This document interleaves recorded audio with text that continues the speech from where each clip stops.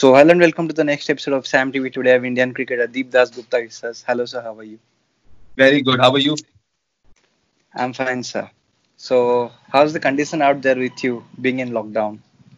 I mean, uh, it's tough. I mean, it's it's tough for everyone. Uh, I think the first two weeks were very tough, and then slowly you start to kind of get used to the new normal, and then now it's again getting a little tougher now. You know, because it's been almost three months now. So uh, yeah, from that perspective, yeah, I mean, this is the time when you really have to know, stay strong and push it through. Yeah, that's great. So I saw your photo, obviously going to the Eden Gardens after a long day. You're posting a selfie with that. Yeah, I mean, the other thing is the last two, three months have made you realize, you know, a lot of things. I mean, things that you've taken for granted, uh, you know, things like that, and what means to you, what does not have that kind of meaning. Uh, and you know the fact that there are so many things that you can you can actually live without Okay, that's cool. So yeah, here so that I can ask you some questions. Let's see how much you remember from your past games. yeah i'm i'm bad i'm bad with my my memory is terrible anyways go ahead Uh, okay, let's see. So my first question is, uh, in which year you made your Test debut for India? Uh 2001 october 2001 And it was against? south africa Okay. Uh, who took your wicket in your debut Test match in the first innings? uh, was it sean pollock Yeah, it is. It was Sean Pollock and caught by Mark Boucher behind the wickets. Yeah, yeah. I'm, I was a little confused. I remember I got caught behind. I forgot whether it was the first innings or the second innings. Yeah. Okay. Against South Africa in October 2001, you also made your ODI debut. Can you name on which stadium the match was being played? Right. Uh, I made my debut at Wanderers, where I did not bat. So the first time I actually batted was at uh, Centurion in the second ODI. Yeah, Okay, so debut was in Wanderers. Yeah. Wanderers. Yes, it was in Wanderers. Okay, three for three, a good one. Uh, how many catches you have taken for India in Test matches? Uh, now numbers I'm not good at. I've, I've never been I've never been an individual uh, who looked at my numbers while I was playing or even after I was playing. So because I think numbers are important, but they don't tell you the whole story. So uh, now that you're asking me numbers, I am clueless. I have no idea. Okay, it was 18. 18. Okay. Okay. And how many catches uh, you have taken in your domestic matches, including all first class list A and all? Uh, uh, let's say 160, 170. No, have some confidence. It's more than that. Uh, 210, Okay, it's 214. 214. Oh, okay. All right. Uh, now easy one. What is your highest first class score? Uh, 170 it came against Baroda, semi-finals of the Ranji Trophy. Uh, 174, 471 in, in the early 70s. Uh, yeah, it's 171. That was a good innings by you, though. Okay, uh, as an opening batsman, it's difficult to stay till the end. Uh, still, how many not outs you have in your whole career, which includes Indian matches and for the domestic also? Oh Lord, I have no idea. I have absolutely no idea. Uh, 10, 15, No, it's more than that again. uh, 25, okay, it's 24. 24. Okay, cool. Yeah, fair enough. Ah, interesting. Yeah. Uh, when was the first Cricket World Cup played? 1975. Yeah, it is 1975. And who won the 1999 World Cup? Uh, 1999 England World Cup was. Oh, uh, you dropped the World Cup, son. Uh, yeah, I remember that. Uh, Steve Waugh and yeah, Australian. Yeah, it is Australia. Uh, currently, uh, who is Test ranking rank one, two, and three? Uh, interesting because India, I read the other day, was not number one anymore. India has dropped down to two or three, which is which is amazing because uh, there hasn't been any international cricket for two months. Uh, India is uh, at three. India's at three. Okay, India's at three. Let's say England somewhere there. No, England is not there. Australia at one. India at three. Okay, Australia. Okay, so it's Australia. And let me think, who played the last series? Okay. New Zealand won the series against India, correct? So Yeah. they must be somewhere there. Is New Zealand there in the top three? Uh, yeah, it's New Zealand on rank two. All right, cool. Okay, Hmm. so not a good one. Seven out of ten, correct? So, oh, you are a Man United fan. Absolutely. okay, same here also. Fantastic. But you're wearing this. Both, actually, both of us are wearing blue. Uh, yeah. So we have some fan questions got for you. Uh, who is the most funniest guy you have played with? there are actually quite a few. I mean, and everyone has their own different sense of humor. Uh, but somebody who would always joke around in the dressing room would be people like Harbhajan, uh, Viru. Uh, Sehwag had his own brand of humor. And uh, so Viru would be like that, UV would be like that, Ashish Nehra uh, would always be, you know, chirpy and having fun. You know, Sach Bhai, as in Sachin Bhai, I mean, he too uh, had a had a you know has, a really good sense of humor and uh, VVS because the idea was when I was there, uh, what everyone tried to do was keep the environment inside the dressing room very light. You know, as it is, there are stresses when you're playing for your country and all that. So they tried to keep. So everyone tried their best to keep that environment inside the dressing room as light as possible. And who's gonna be the serious guy for you? Uh, serious in the sense, I mean, yeah, I mean, serious would be Srinath. I think Shribai, not serious, serious, but yeah, you would, you Determined to that Oh. work. yeah, could could talk about a lot of things apart from cricket as well.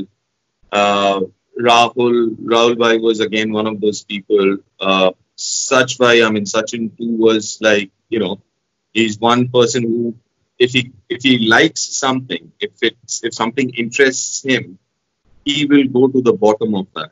So, you know, so yeah, I mean, I wouldn't say serious, serious, but uh, I mean, like I said, everyone had their both sides. You know, the the you know the, the focus and the serious sides, and also the fun side. Uh, and that's where I think it depends what interested people have. Okay, so for you, the difficult difficult track to play it in. You could say the difficult pitch. I, I think I've I've never played international cricket in England, but I've played a lot of cricket in England. I would say South Africa and England, and also I mean for for subcontinent players because uh, those are the conditions which we are alien to. England and South Africa, Australia. Personally, I've played there.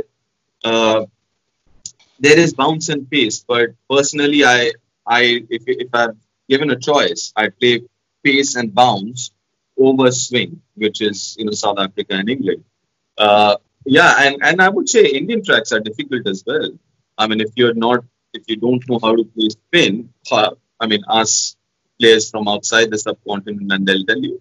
So yeah, it depends on what uh, what you're good at, what suits you.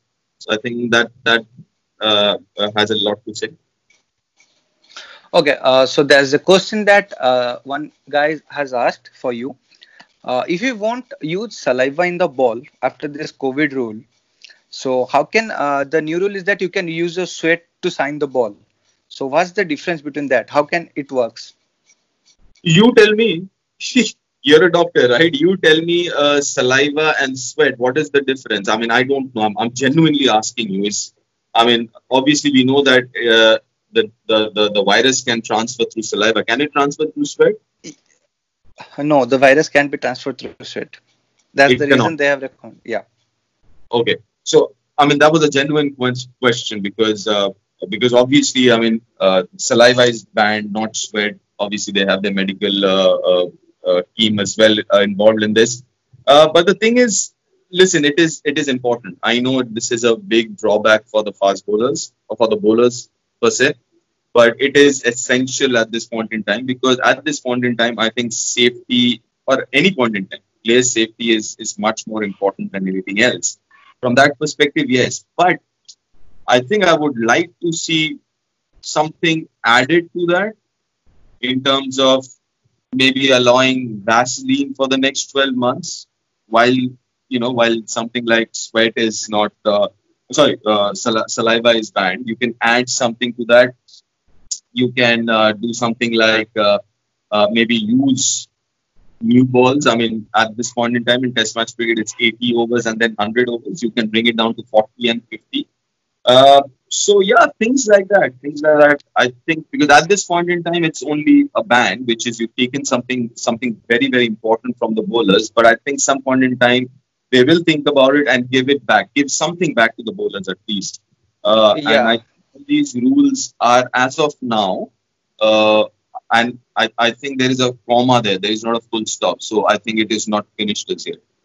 You know, as, yeah, as la- you international cricket, I think you will keep adding a few things or subtracting a few things. Yeah, last night I saw uh, a club from England, Leicestershire. You may be knowing it, LCC. Yeah, uh, yeah, yeah. yeah. Yep. Uh, his head coach is currently now Paul Nixon. Uh, he just uh, sent me a photo through WhatsApp that they are using a Kaliva company it's Kaliva. Uh, that's a gel they will be using for the nets uh, to use the ball to sign. So they doesn't know how it works. Uh, they will try for one month. You can check it also. I just saw a pic of them. I mean, listen, uh, Paul Nixon, I know him very well. He was a fantastic wicket keeper. Yeah. Uh, I mean, I, and he is one of those guys who thinks outside the box. It'll be interesting, actually. Uh, that'd be interesting. Okay.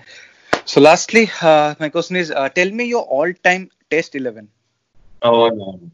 Uh, all time test 11, you're talking about 100 plus years of, of test cricket. Uh, I think it's it's very, very difficult. Very, very difficult. Uh, because there have been so many greats. I mean, if you'd asked me about this generation, it was a different thing. But over 100 years of test cricket, and it's also very unfair. It's extremely unfair to compare different generations uh, because there's so much of, of a change.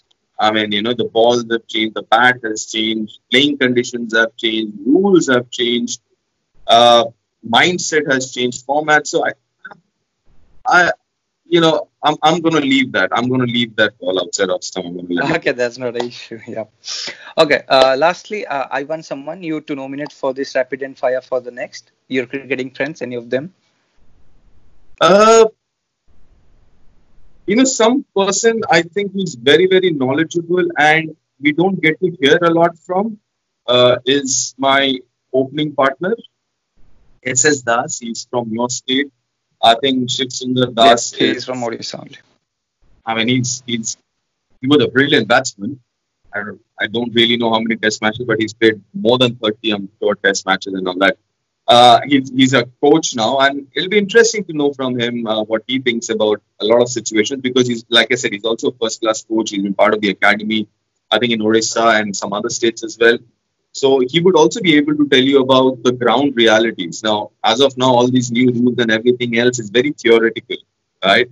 But yep. people at the ground level might be able to kind of decipher the practicality of these rules a little better. And his his cricketing brain is very very sharp. So yeah, I, I uh, would love to hear from him. Okay. Uh, so lastly, anything for your fans? Uh, all I've got to say is, you know, this period is is very very tough. Uh, uh, it's it's it's it's challenging times for everyone. But what we really need to do is understand if it's challenging for me, it is challenging for you as well. So be a little more compassionate, uh, be a little more forgiving, and understanding about the person in front of you, uh, because we are all in it together. You know, it is not about me. I mean, I'll I'll be healthy physically, mentally when the person in front of me is also healthy. So it's not just about me. If I have to keep myself healthy, I make sure that everyone around me, the environment around me, is healthy as well. So be more compassionate, be more forgiving at these uh, uh, at, at, this time of uh, challenge, and a very big thank you for to you and your fraternity, Sampoon, for what you've been doing uh, during the last two three months. I think it's it's amazing.